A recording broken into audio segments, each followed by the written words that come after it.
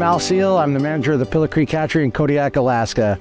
It's a salmon hatchery operated by the Kodiak Regional Aquaculture Association that produces sockeye, chinook, coho, and rainbow trout annually. This small island community is home to the world's largest Coast Guard base, which accounts for almost 25% of the island's population. The small town of Kodiak is the second largest fishing port in the United States, usually third by monetary volume. We do a year-round fishing here, and it's a very popular spot for outdoor recreation, uh, hunting, fishing, and other outdoorsy activities. It's a world-class destination, and we're famous for our large bears.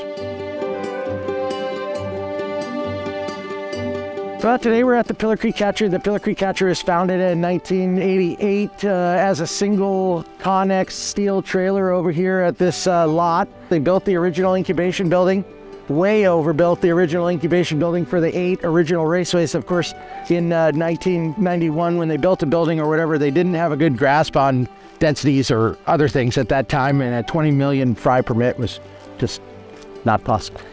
It's possible on paper. Over the years, the hatchery has uh, added raceways and added more raceways and added more raceways until now we have 21 rearing containers. We are no longer just a central incubation facility. We do winter smolt, we do summer rearing of rainbow trout, and we're a central incubation facility for sockeye still. So we do two sockeye stocks early and late for June and July. We do a Chinook stock from the Karluk River on the west side of Kodiak. Our coho stock is from a local river out by the airport, and the rainbow trout that we get come down from Anchorage. This is our annual production of between three and five million fish. Going into the next 25 or 30 years of this facility, the facility may change again. Well, we don't know what the future of this facility holds right now with the way that the climate is going, water supplies, water temperatures, returns to our systems where we take our broods. All of those things are, are constantly shifting right now.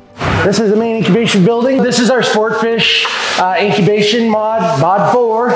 So um, because we do Chinook, we do our Chinook and rainbows in here. So for all of our Chinook projects, we do single family tracking and deep trays. Out there right now, I have about 14 hens worth of Chinook, but Fish and Game collects our fish, uh, snorkeling in the rivers with dry suits, nets, and uh, all of that. And this year, they got us 33 Chinook while they were out there, and two of them were females.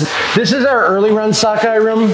This room here, we have uh, we have 10 incubators, which gives us the capacity for about 2 million eggs in here.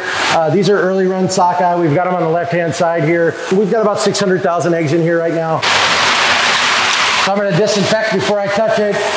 From here on down is lot one and then lot two is right here. And you can see we've got, these are late run sockeye, uh, 75 hens per incubator with a fecundity of expected 2750 to 2900. I calculated at 2750 per hen this year. So somewhere in the 217 to 225 range. So these incubators are called Kitoi boxes. And so they were actually invented and patented out at Kitoi Bay Hatchery on Afognak Island way back in the day. The first ones were made out of plywood. So these are just deep matrix single pass incubators, which are a requirement for sockeye production in Alaska.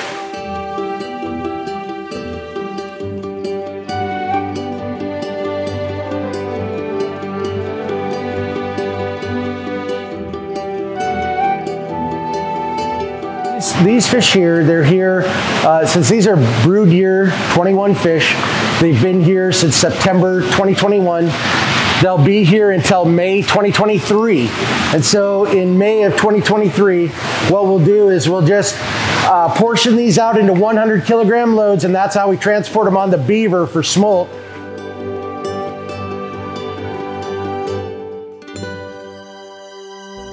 when they, people see hatcheries, they always generally want to believe that the hatchery is replacing something that's been lost. Uh, and, and hatcheries have filled that role somewhat successfully at times and completely unsuccessfully at others.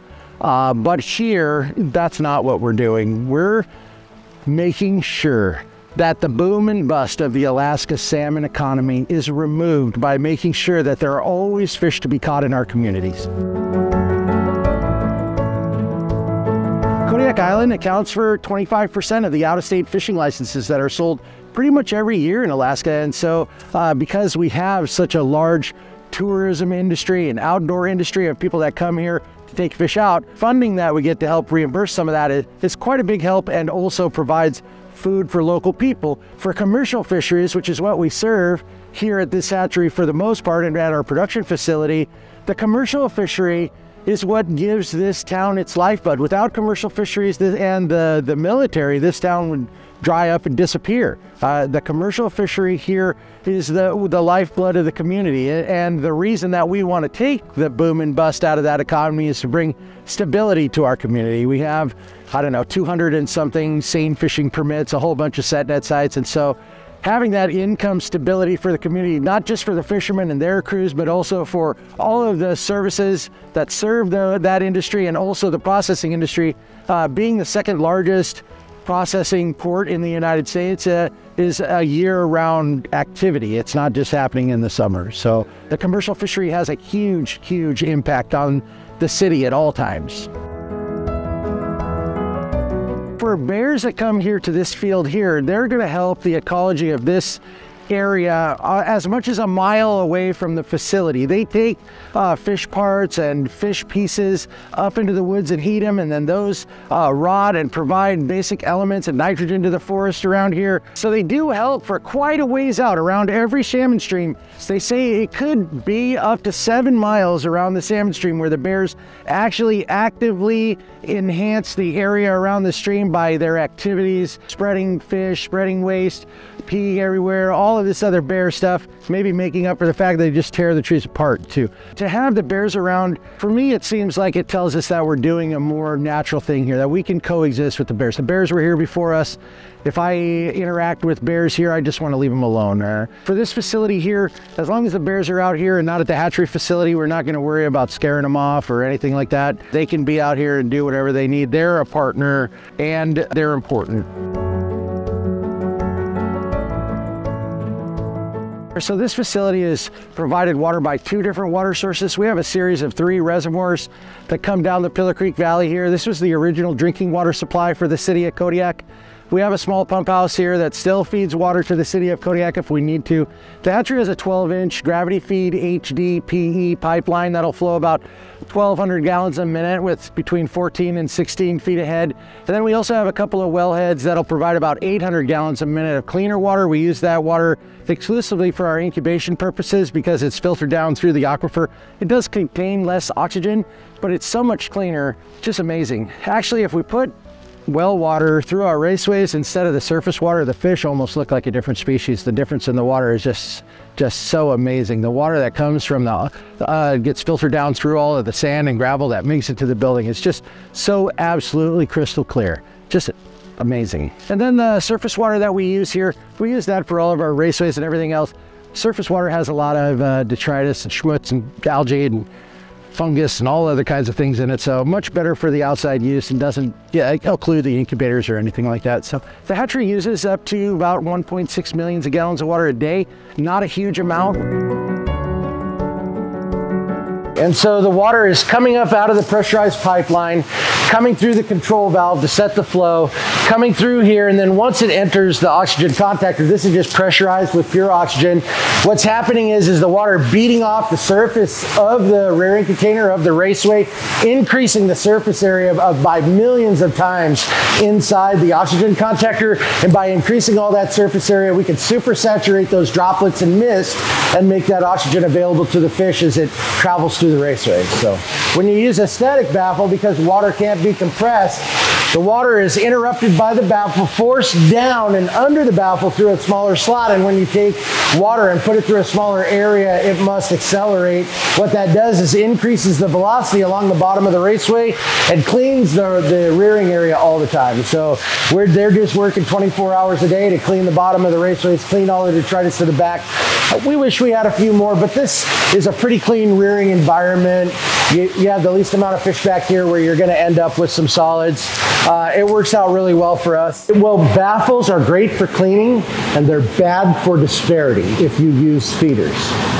But we don't put it, the total portion in the feeders at colder temperatures. Because we're feeding eight times a day or four times a day, feeding eight times a day, we're just creating eight peaks on feedings when we have extreme high temperatures, and I'm talking like 15 degrees in the rearing containers, which is extremely high uh, for salmon and aquaculture, uh, right on the edge of where you'd want to be. So by using the feeders across the full day, we may feed the more aggressive fish a little more and cause some size disparity, but it takes that, you know, uh, hill and valley system out of the dissolved oxygen levels for the day.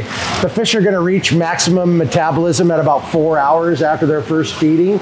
And so that's why we do our DOs at the end of the day too, is we know that they've received their full portion. They're metabolizing at their full rate. They're using as much oxygen as they're going to use, and that's probably going to taper off over the evening. And they may have higher DOs in the morning, but measuring it and adjusting it now before we go home. I never adjust water before I go home. I'll, I'll adjust oxygen. all of our water here is just single-use water. It comes from the reservoir through the pipeline, through the rearing containers or incubators, and then right back into the creek and out to the ocean, just single use. They were only allowed to use single-use water because we're a sockeye facility and sockeye and their pathology issues only allow for single-use